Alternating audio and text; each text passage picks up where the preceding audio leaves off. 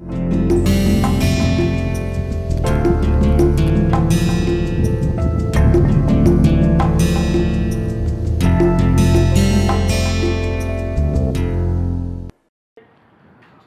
to massive open online certification course. I am Dr. Rajiv Misra of Department of Computer Science, Indian Institute of Technology, Patna. I am offering a MOOC course on distributed systems. Distributed systems definition. A distributed system is a collection of independent entities that cooperate to solve the problem that cannot be individually solved. The distributed system in contrast to centralized system is also defined as a collection of computers that do not share a common memory or common physical clock that communicate by message passing over the communication channel and where each computer has its own memory and runs its own operating system.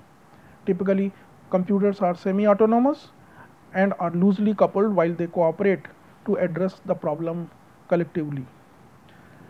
Now, the applications of distributed computing are many and in many different fields or areas it is being applied and also is developing based on the newer challenges and newer challenges based on the new technologies which are coming up are now uh, being addressed into a distributed computing.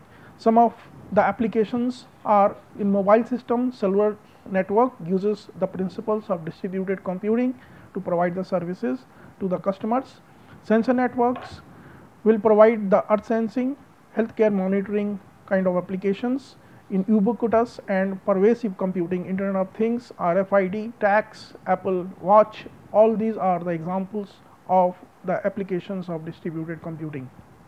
Peer to peer computing, here we have the Bitcoin application that is the digital money, BitTorrent, Napster, Gnutella, and Chord. Intrusion detection ad hoc sensor networks are the applications of distributed computing in the field of distributed data mining. Now, there are some applications in the grid computing. Now, in cloud computing also we can see the presence of distributed computing principles like in Amazon EC2, EC3 and Microsoft Azure.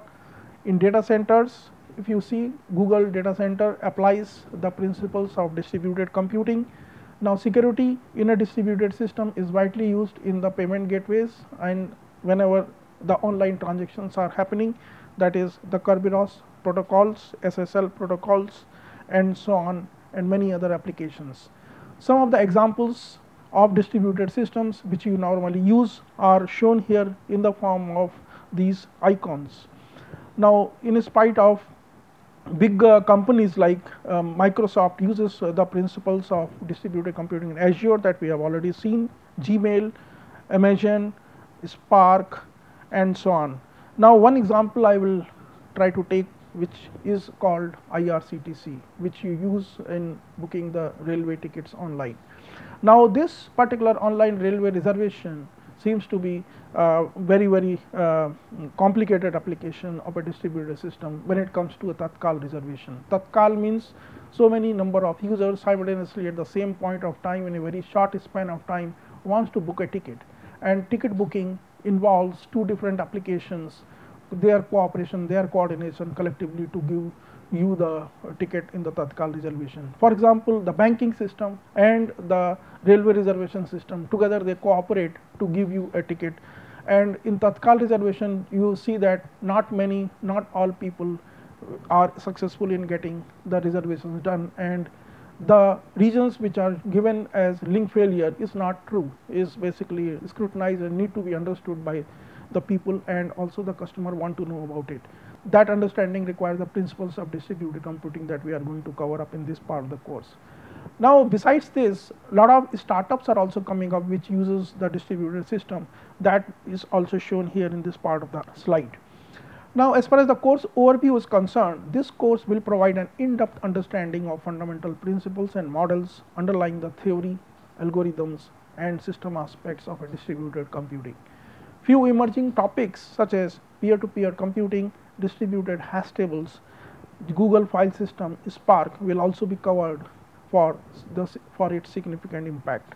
This course will help the students, senior undergraduates and graduates and research scholars are basically welcome to take this course and to explore the theory of distributed computing which is very different from the centralized computing. The course content goes like this introduction to the distributed systems, basic algorithms in the message passing systems, leader election in the ring, distributed minimum spanning tree, models of distributed computation, causality and logical time, global state and snapshot recording algorithm, distributed mutual exclusion algorithm, distributed shared memory, consensus and agreement algorithm, checkpointing and rollback recovery and the case studies are distributed hash table, peer to peer computing, overlay graphs, Google file system, SDFS and MapReduce, introduction to Spark and introduction to, to the sensor network. Textbooks, two textbooks we are going to use